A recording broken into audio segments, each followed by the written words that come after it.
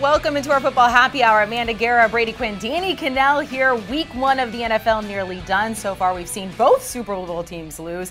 Also, a handful of injuries, including Cowboys quarterback Dak Prescott. The Cowboys now in their season opener, a loss to the Bucs. Dak hurting his thumb on his throwing hand in a play in the fourth quarter there with Shaq Barrett. Now, Dak initially saying, Look, I thought I jammed my thumb, but x rays later revealing it was a fracture.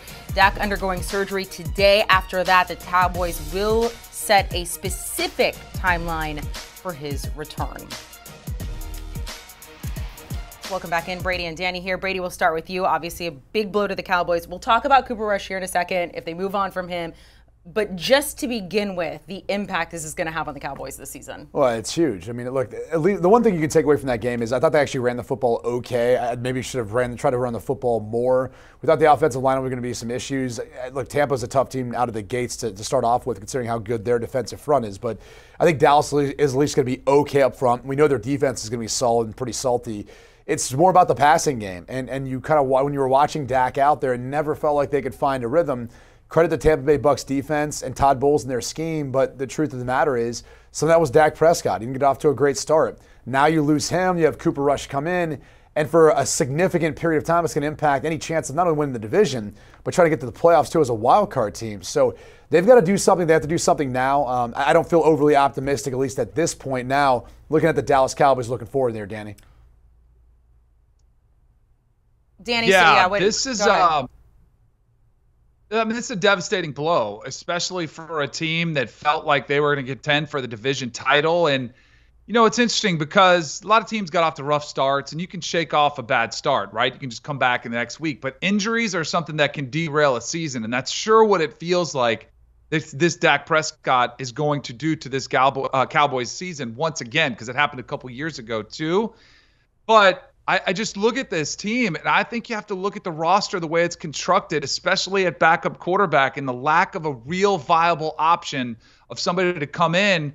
And some of this blame has to fall at the feet of of Stephen Jones and Jerry Jones for constructing a roster and taking a massive risk with not having a viable backup behind them. We'll talk about some option they can sign.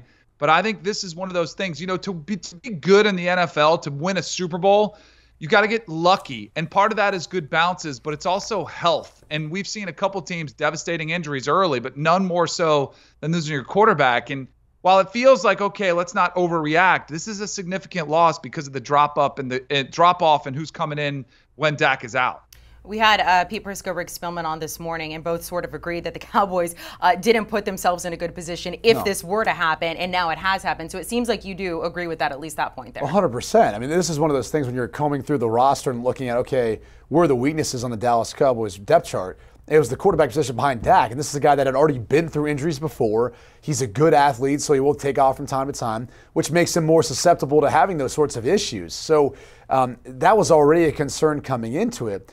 I think the other concern is for Mike McCarthy's job security. I mean, let's be real. After not after the way things ended last year, and now having this happen, and granted, it's not on him for their depth chart and what the roster looks like. That is on Stephen Jones. It's Jerry Jones, as Danny just said. You still have to wonder, though, if the Jones family doesn't look at Mike McCarthy and said, "Okay, that's why we pay you the big bucks. That's why you're our head coach. You have to find a way of overcoming, whether that's with Cooper Rush or whoever else we would potentially bring in." Uh, so, Danny, let's talk about some of that. And I will circle back to Mike McCarthy because we do want to talk about that. But when it comes to Cooper Rush, what do the Cowboys do? Do you have to go out there and start looking for someone else, or do you just try to stick with them right now? They're probably going to have to sign somebody just for depth alone. But even if you sign somebody, I mean, Brady knows this, it's going to take time to get somebody acclimated. There are some guys, and we'll toss around some names that might have familiarity with the system, but still, it takes time let me just put this into perspective too, because August 31st, the Dallas Cowboys cut both Cooper Rush and Will Grier, their second and third string quarterbacks, as a little roster manipulation and then signed them back on the practice squad before elevating Cooper Rush to the second team quarterback spot. That means they cleared waivers. Not one other team in the NFL thought either one of those quarterbacks was good enough to even take a flyer on. That's where I think this is a massive risk that they took and maybe a bit of arrogance because, as Brady noted, Dak's been banged up. He has not stayed healthy the last couple years. And for them to just egregiously overlook this and maybe they think like oh we've got another tony romo on our hands like some complete unknown who all of a sudden is going to come out there and be the savior or at least be a great competent backup is an extreme bit of arrogance on their behalf thinking like oh we found somebody who nobody else sees value in.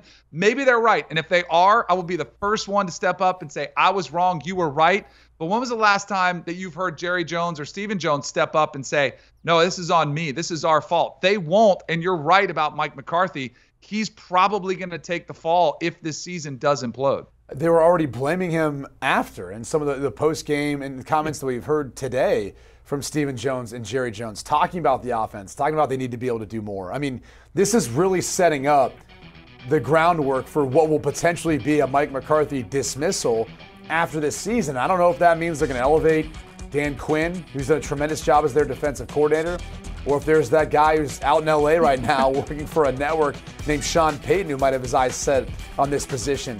But however you want to look at it, it just it already seems like this is set up for Mike McCarthy to fail. And it's a little bit frustrating considering it's a guy who's won a Super Bowl and really not even two years into it, you can already kind of see the writing on the wall. Starting 0 1 for the third time as his head coach uh, there is the Cowboys. All right, let's talk names, potential names that the Cowboys could be after uh, to take over this quarterback position now. I mean, the first one to me is Jimmy G. The reality is the restructured contract was done for a reason with a no trade clause, and a lot of people confuse what a no trade clause means. It doesn't mean you can't be traded, it just means you have the right of refusal. So if the San Francisco 49ers want to trade you, you could say, Nope, I don't want to go to that team. Or actually, I do want to go to that team. So I will waive it, and I'll make sure I go to the Dallas Cowboys in that case. Are they attractive to him? Uh, they have to be attractive to any quarterback who's looking for an opportunity to go with a talented roster and a chance to win a division right now. That would be the Dallas Cowboys. The problem is, I don't know that San Francisco's going to want to entertain this because of what we saw week one versus the Chicago Bears. Now, it was on the road, terrible weather. I don't want to put a ton into that for Trey Lance's, you know, you know, start this year to start off the season. But the reality is, maybe it's one of the reasons why they, they kept Jimmy Garoppolo around because they thought if there are some growing plays to Trey, Trey Lance, you can turn it over to Jimmy G, the guy who's helped you get to two NFC Championship games uh, and one in one of those years going to the Super Bowl. So Jimmy G's the first that comes to my list. I just don't know if the 49ers are going to want to entertain that. Danny, what are some names you're thinking of right now? Jimmy G is the first one that comes to everybody's mind, but the 49ers are in a perfect position. Like Brady said, they've got an insurance policy. Do they want to give that up after just seeing one game of Trey Lance? Maybe they want to see how this thing plays out a little bit longer. The other thing they have is a massive amount of leverage. I mean, everybody knows the Cowboys are desperate right now, and they're going to ask, you know, you want Jimmy G? What are you giving us? And it's going to be a steep price for them to pay. So I don't know if that makes sense. It feels obvious, but maybe it's a little bit too high of a price the options are not great. Like, you know, you're sitting there looking at other rosters like a Mason Rudolph who just got demoted to third string. And the Steelers, I do think one of the things that was interesting about that depth chart early, they had him listed as the backup. And then everybody freaked out, was like, what's wrong with Kenny Pickett? Then they dropped him down to third string. I think the Steelers did that to try to make Mason Rudolph look more attractive in the trade market. So I think that's a team you call. They're probably looking to move on from Mason Rudolph. You might be able to get him a little bit better value, but is he a good quarterback? That still remains very much in question. The other thing is possibly calling up the Saints and calling up a guy in Andy Dalton who knows this system, played in Mike McCarthy's system a couple years ago. The Saints, you know, Jameis has looked good, but he was hurt coming off an ACL. They might be willing to part ways with him and go on a younger route behind Jameis. But at least he's somebody who can come in and execute your system, is familiar with calling the plays. Again, Andy Dalton, he's played a lot of football, but how much is left on him? I'm not so sure. So, I, and then there's one other name that's on the street that you could call. Carolina did it last year. A couple other teams have. Is Cam Newton? Like he is a big body quarterback who's played in this league. Brings you know, uh, he'll sell tickets. That's for sure. And maybe you could work him in the run game and actually, you know, utilize some of his skill set as a physical runner. But again, somebody who's taken a huge toll on his body. You worry about his health then in that aspect. So those are three options. But I think even as we kick around these ideas, this looks like the Cowboys set them up for failure by not having a better backup in place. You know, Mason Rudolph is another name that I think Danny had, had, initially thrown in before the show in some of his notes. He would make some sense. He's sitting number three on the Pittsburgh Steelers depth chart right now. Had a good preseason. Obviously familiar with that portion of the cover, uh, country, being an Oklahoma State quarterback. A couple other names. I mean, Nick Foles. We've obviously seen him win a Super Bowl before. He's sitting as a backup up in Indianapolis with, with Frank Reich. And Sam Ehlinger had a great preseason. I think so much so they kept him on the roster he's a guy that could legitimately back up Matt Ryan, and obviously Nick Foles isn't the future there in Indianapolis. So he'd be a name that I would I would consider, and I, I think you could maybe get him at a fair price. Uh, and then the other one on my list is Gardner Minshew. Like this is a guy that I just think we have we have underestimated. I know Pete's never been a fan of him, but if you actually comb through the numbers, he almost has a four touchdown to one interception ratio. He's completed 63% of his passes.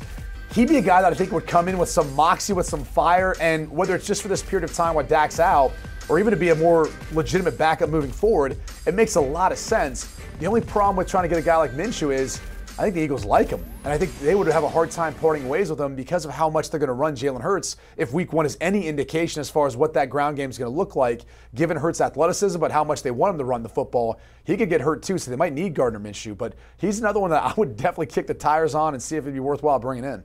They want to hold on to him.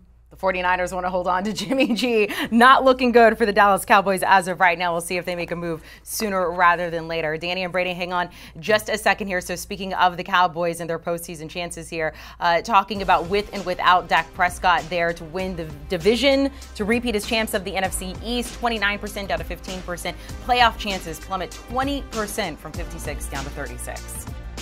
Do you want a sports network that delivers everything that matters about the game? The highlights, the picks, the instant analysis, no yelling, no fake debates, no politics. Hit the subscribe button and never miss a moment.